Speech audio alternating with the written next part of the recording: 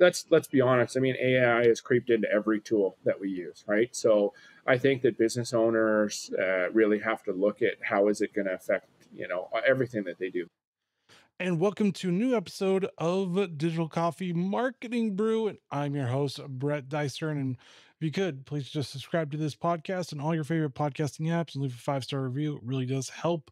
But this week, we're going to be Oh, we're gonna be talking about B2B and mostly just the ads and B2B and all that other fun stuff that goes on with it. But I have uh, Dave here, and he has experienced marketing of over 15 years, expanding his creative thinker and has been designing advertising and creative messages for over 15 years, working with clientele in all industries with a long list of over 500 clients annually. He understands many struggles and organizations to understand digital advertising impact it can have on your bottom line. But welcome to the show, Dave. Yeah, appreciate it. Thanks for having me. Mm-hmm. And the question I always ask my guests, or the first question I ask my guests, is Are you a coffee or tea drinker? I drink energy drinks. I'm actually one of the only people in marketing you'll find that doesn't drink coffee. Interesting. Do you have like a specific favorite energy drink that you like? Um, I guess we're going to get some free brand promotion here for for all the big brands. But no, I'm I'm a loyal Rockstar drinker. I actually really enjoy the Celsius drinks now. It's a, a new brand that's come to Canada. Uh, I was down in Chicago, see it in the U.S. as well, and and uh, yeah, I just you know I like to explore things. I you know I like a Red Bull now and again, but I find that you know just different flavors. You got to try something new. Yes, I mean, I always try new coffee brands, but I mean, same thing with energy drinks. You always got to try something new if you don't know if you don't like it. Yeah, yeah. Well, I hear we have really great coffee here in the office. That's what everybody says. And my business partner is big into exploring different coffees. We have some amazing local coffee brewers here in Calgary.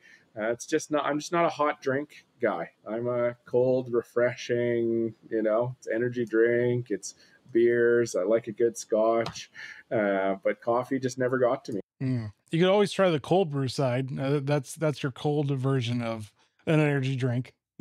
yeah, yeah. You never know. Anyways, I gave a brief some of your expertise. Can you give our listeners a little bit more about what you do? Yeah, hundred percent. I uh, I run a full service ad agency here in in Calgary, Alberta.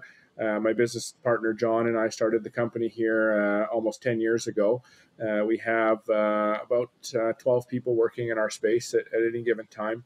We work with clients uh, across all different industries, anything from sports, marketing, tourism, industrial, technology, software, retail, e com. There isn't much that we don't touch. really, for us, it's about just helping businesses identify the gap in their marketing and then utilizing both digital and traditional solutions to gain market share and, and visibility. And, uh, and we like to look at it from the customer perspective. How are they engaging with businesses? How are they finding products? What type of noise are they seeing in the marketplace? And, and really, what's it going to take for our customer to not only stand out, but, uh, but gain trust, gain engagement, and ultimately turn that into revenue? Mm, all right. So, digital ads and B2B businesses, is there is does it work well? Do they understand it? What's the disconnect if there's anything with that?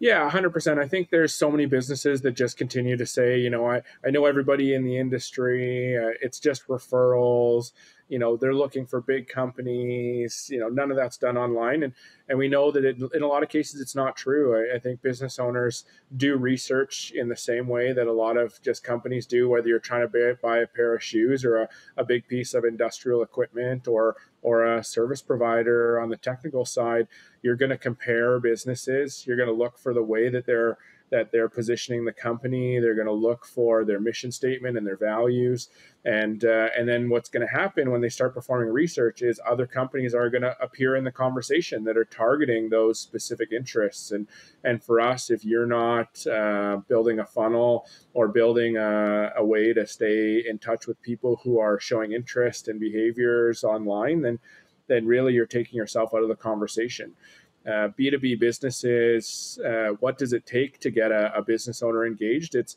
it's upwards of 25 different touch points. And, and those are going to be a mix of salespeople reaching out, seeing the trucks on the job site, uh, submitting RFPs. But then it's going to come down to email communications, videos, uh, digital touch points with display ads, uh, LinkedIn outreach, and consistent connection with content, and uh, and then also your SEO strategy and how you're positioning your blog content and your on-page content to become a leader in the space.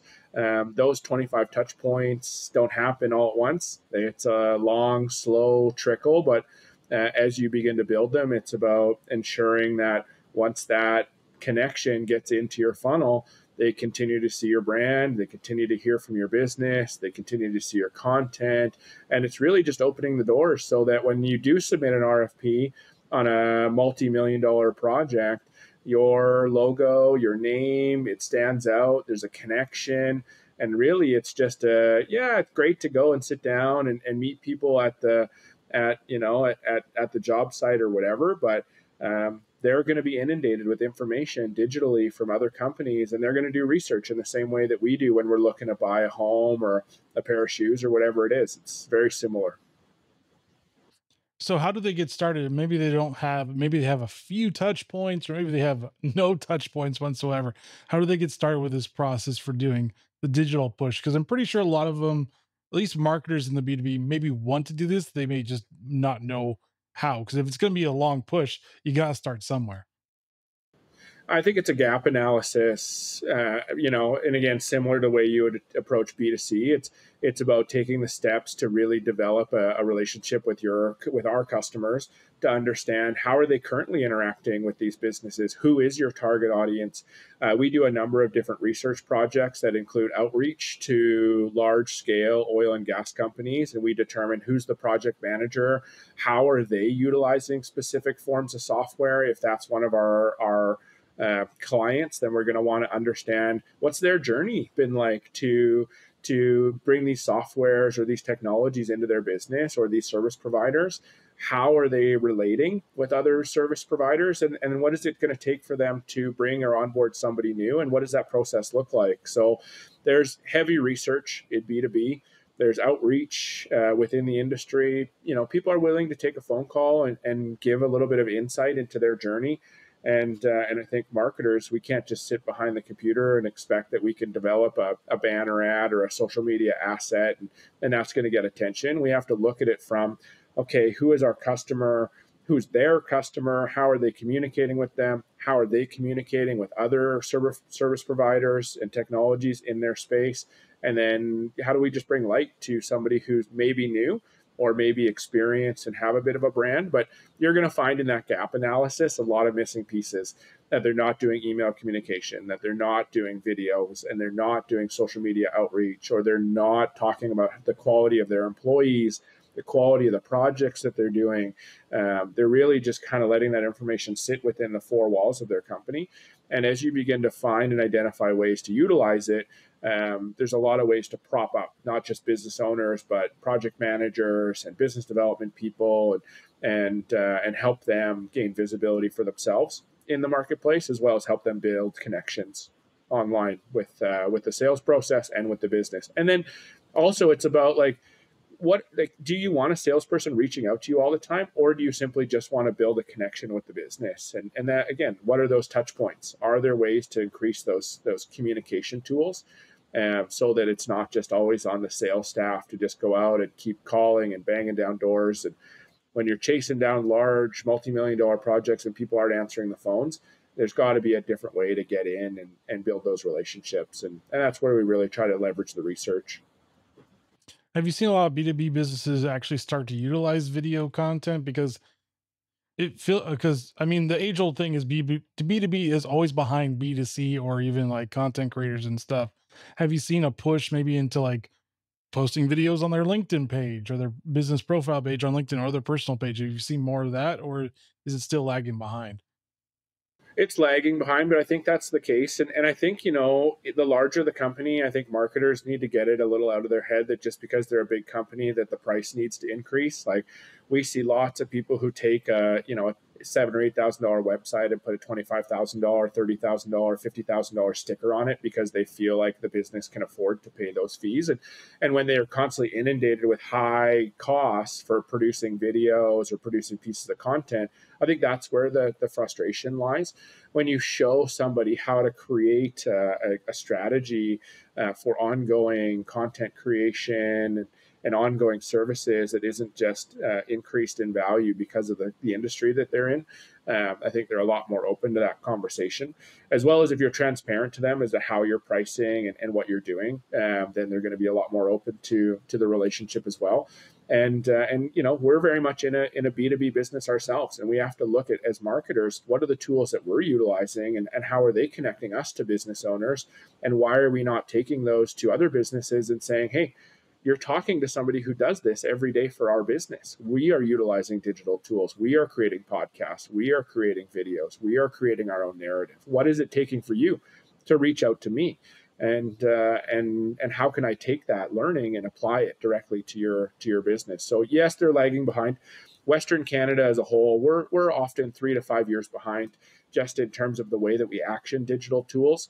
Uh, a lot of it is just because we do have smaller networks right? We're talking about smaller groups of people within these roles, and there are strong, long-standing relationships, um, both in the marketing side and in just just all across all business. So um, a lot of the times you have to break down a relationship in order to understand how you can insert yourself into helping build and, and create one.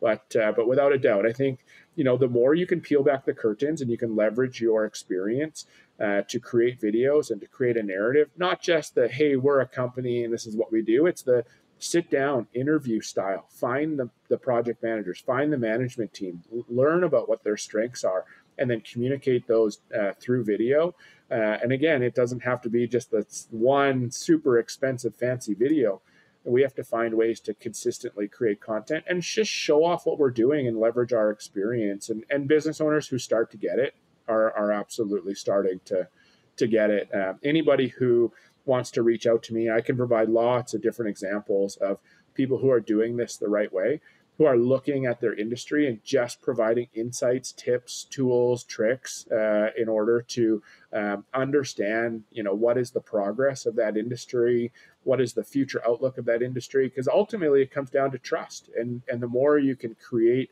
Um, you know, a, a funnel of people following you and, and learning from you and, and seeing you as a leader in that space, um, that's what's going to generate those really good long-term relationships and that new business coming in the door. And so, has there been any impact with AI with B two B? Because I mean, we've all said it's a little behind. Has have you seen any movement towards using that whatsoever? Because AI is taking over every facet of marketing to a certain extent. Yes and no, right? I think for sure. Um, let's let's be honest. I mean, AI has creeped into every tool that we use, right? So I think that business owners uh, really have to look at how is it going to affect you know everything that they do. There's lots of different softwares that are leveraging AI better than others. There's lots of different ways that we have communication tools that we can leverage AI. There's I, I don't, you know, I'm not the kind of guy that uses AI to, to create videos. I'm not the kind of guy that, yes, we use ChatGPT to to um, to do some blog writing and do some content creation, but it's manually edited, reviewed, and we're making it specific to industries. And and you have to look at it and go, okay, yeah, there's there's access to tools here. Some of them are great, some of them are not.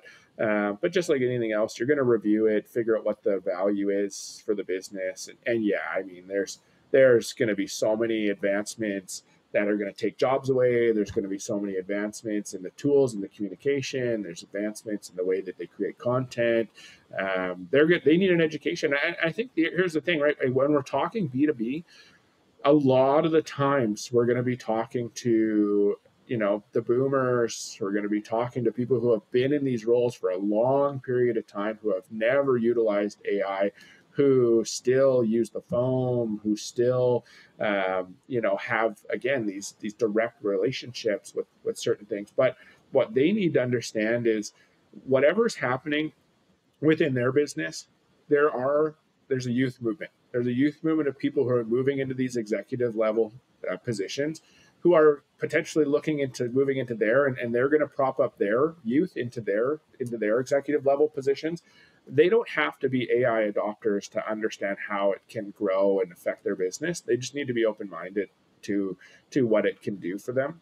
And there's a lot of hand holding that goes into that and uh, and a lot of trust that goes into that but the key for us is just not to push it it's to introduce it and uh, and then just help them understand that there's value and you know it's it's in everything.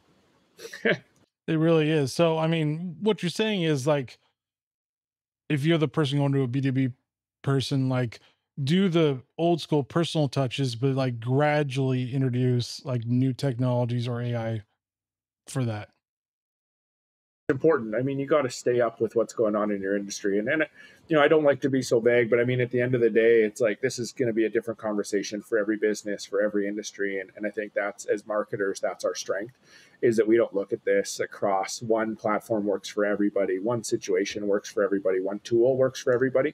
We have to look at it from that specific business perspective. And are there tools that are missing in the business?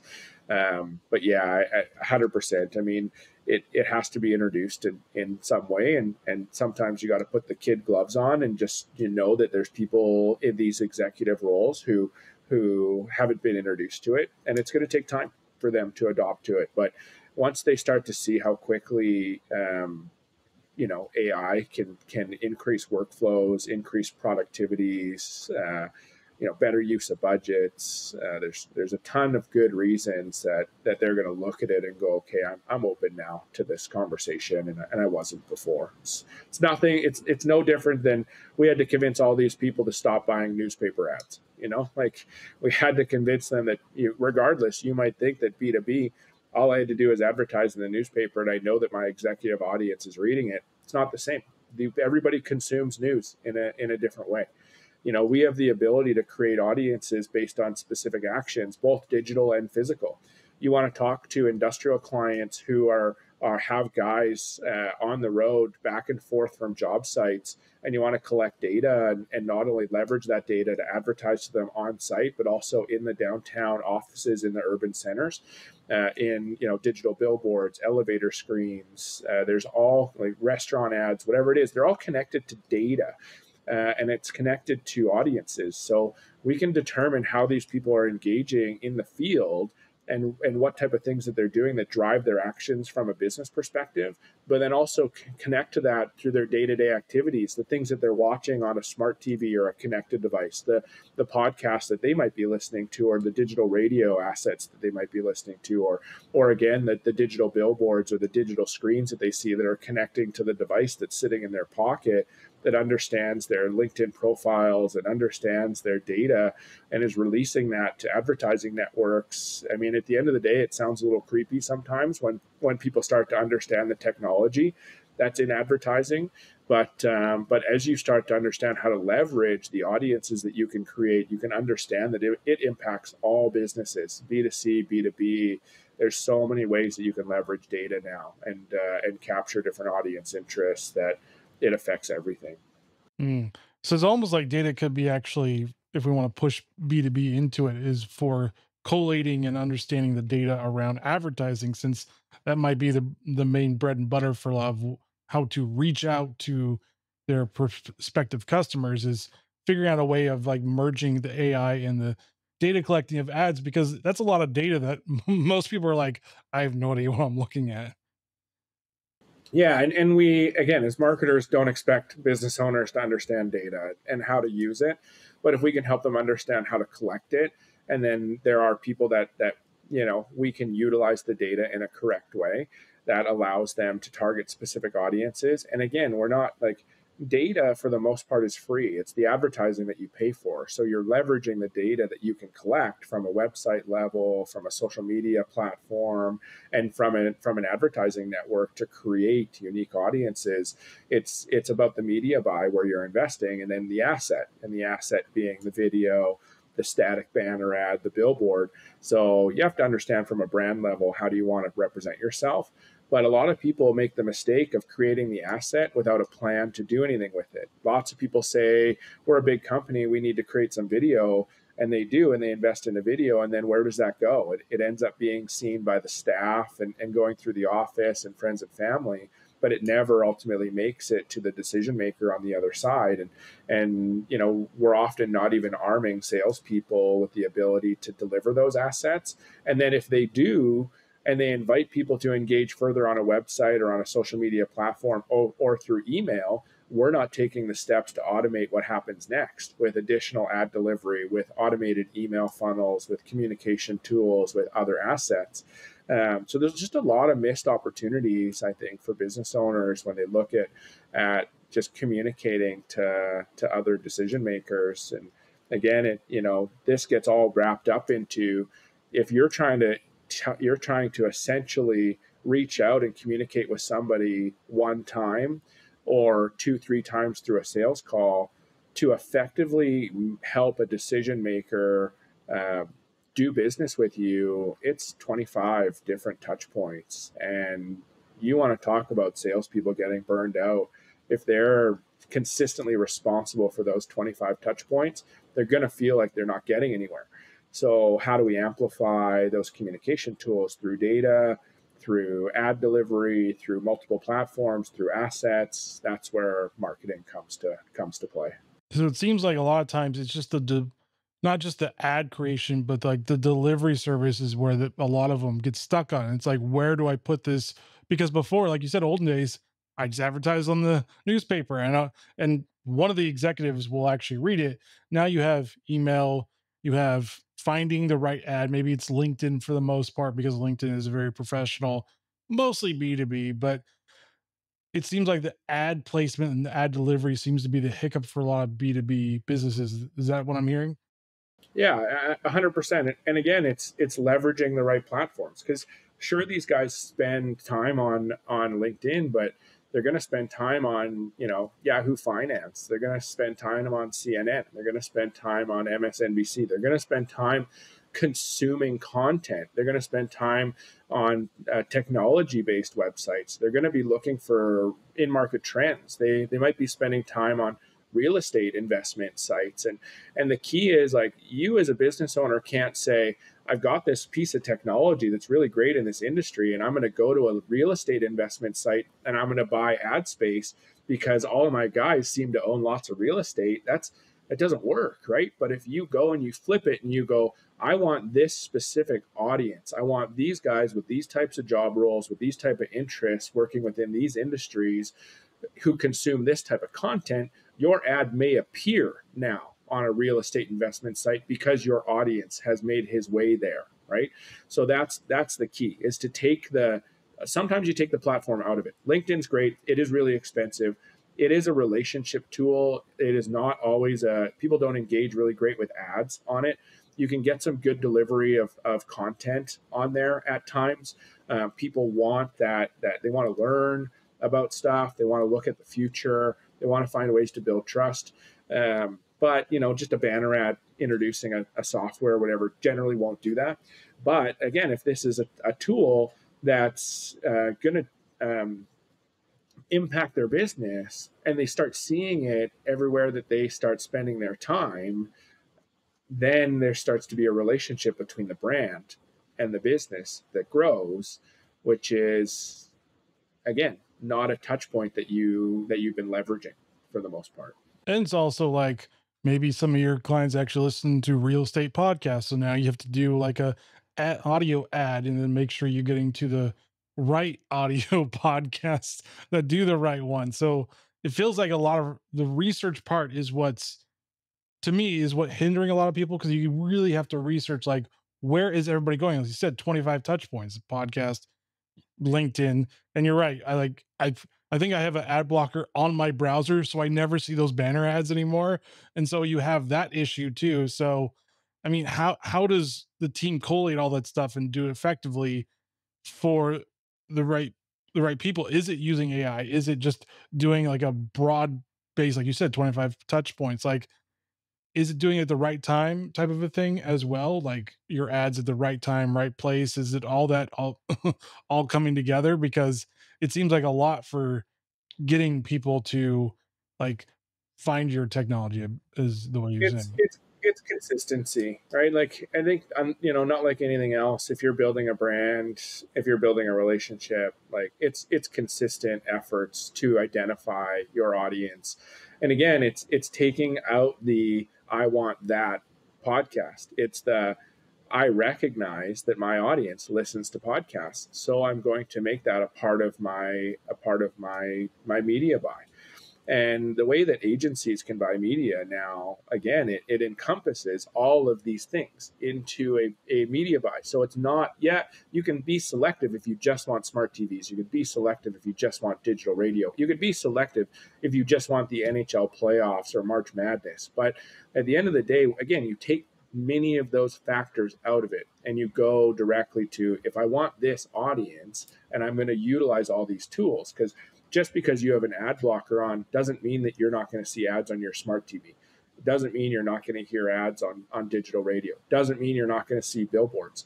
And it certainly doesn't mean you're not going to see ads when you go in the elevator and you look up and you see the weather or the wet or the or the you know the local traffic and you see an ad on that screen. So um, so you again we need to understand that there are so many of these opportunities for ads to be placed utilizing data and utilizing audiences as opposed to going to the platform directly and just saying i saw these screens in the elevators down at the you know the, the big oil and gas company downtown. I want to get to that elevator. Well that's great but how many times are you going to advertise to the fedex guy who's dropping something off in the building? Like let's make sure that we're advertising to the executive level or the executive assistants or people with specific industries in a very select uh, use of technology. So um, that's what I mean. It, it, when it comes down to it, advertising can have an effect for businesses regardless of what you're selling.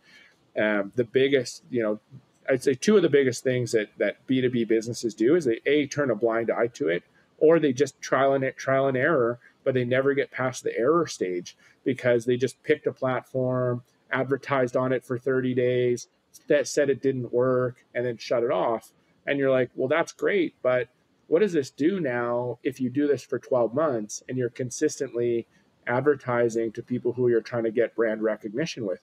And and what's the buying cycle, right? Like, is the buying cycle of your executive is it a is it a six month journey from the time he starts his research to the time he makes his decision is it a 12 month journey? Is it a 24 month journey? Is he consistently making these decisions in 15 days? Probably, probably not, right? So, and then, and then what layers does he need to go through to get approvals when he uncovers a new technology or uncovers a new service provider and he wants to integrate those into the business? Are there board members? Are there VPs that need approval? Are there stakeholders and investors? So, if you don't understand all of these things, then it's easy to say, well, advertising doesn't work or digital doesn't impact our business or or B2B, I just need to go down to the petroleum club and I need to meet a guy that's working in oil and gas and get an introduction and shake his hand. And, and yeah, I mean, that's going to work, right? Like any good business, 80% of any good business is referrals, it's relationships, it's sales. 20% of business is marketing but that could be a massive amount of money that's being left on the table simply because we're thinking that it's there's no value. Hmm. So, what's it going to take for B2B business to be effective for digital ads in 2024? We're about halfway ish in 2024. So, we're seeing like what's happening. So, how are they going to be effective and what obstacles do they need to overcome? Yeah, again, I think it's a bit of an education, and that's going to take a little bit of time. And and yeah, I mean, partway through the year, sure, you can turn on ad campaigns tomorrow if we have the assets. You know, there is some, there is some. We need to develop the asset. We need to understand the audience. We need to understand the branding. Your website might need some some adjustments. Your your social tone of voice or your content is going to maybe need some adjustments so that you're consistently sending the right message. But you know, the the ability to collect data is something that you can start immediately.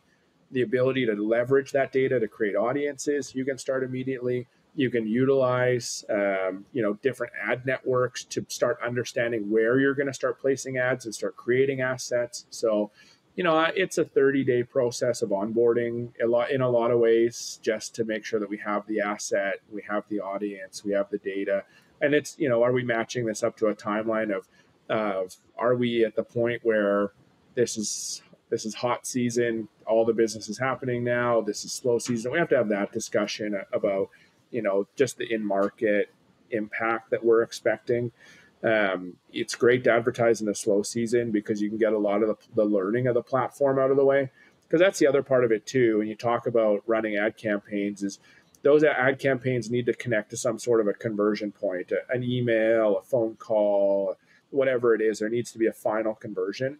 And then each of those networks need to understand what that conversion is and the data from the individual who performed that conversion and then use that data to find more people who are going to perform similar actions. So if you're trying to turn on ad campaigns and expect them to work, they haven't learned enough about your final conversion, about your audience to be effective. So, you know, advertising in a slow season uh, sometimes solves that because you get a few conversions along the way, you get some data, and then you have that ability to leverage and action that data when it does get busy, busier. And, you know, you're in full control of budgets with agencies like us. We're, we're flexible you know, we can move budgets up and down based on what's going on in the market or expectations for conversions. We can scale campaigns based on our total cost per acquisition or our cost per conversion. Um, so you have a little more budgetary control.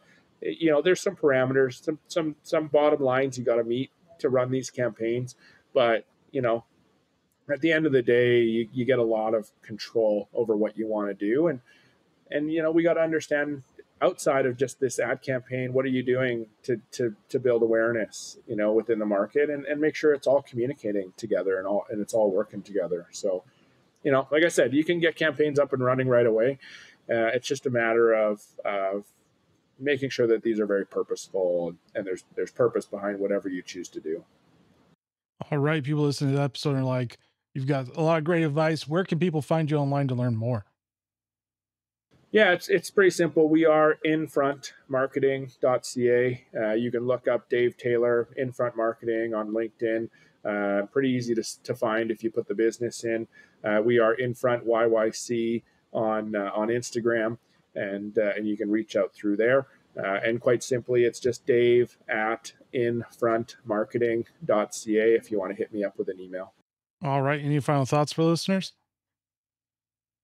Um, yeah, I think it's just you know as far along as we are in advertising, there's a lot of great opportunities to to test out new things and, and learn and, and see what what data can do to impact your business.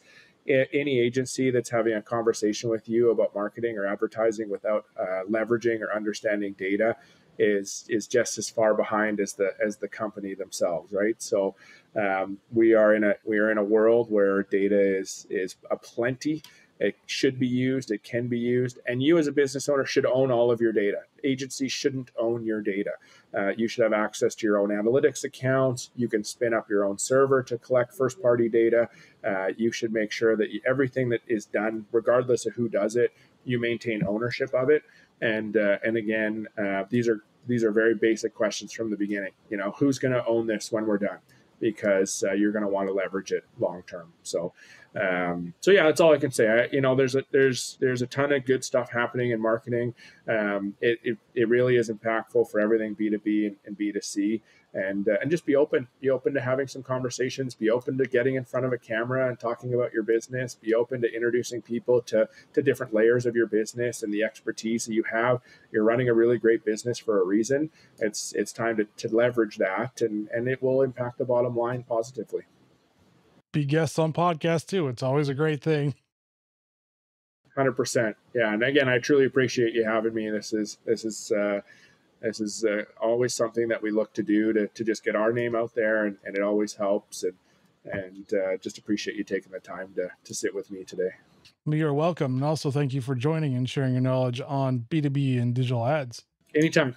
And thank you. As always, please subscribe to Digital Coffee Marketing Brew on all your favorite podcasting apps. Leave a five star review, really does help. And join us next week as we talk to another great leader, thought leader in the PR and marketing industry. All right, guys, stay safe. Get to understanding your digital ads and the B2B space if you're in there. And see you next week. Later.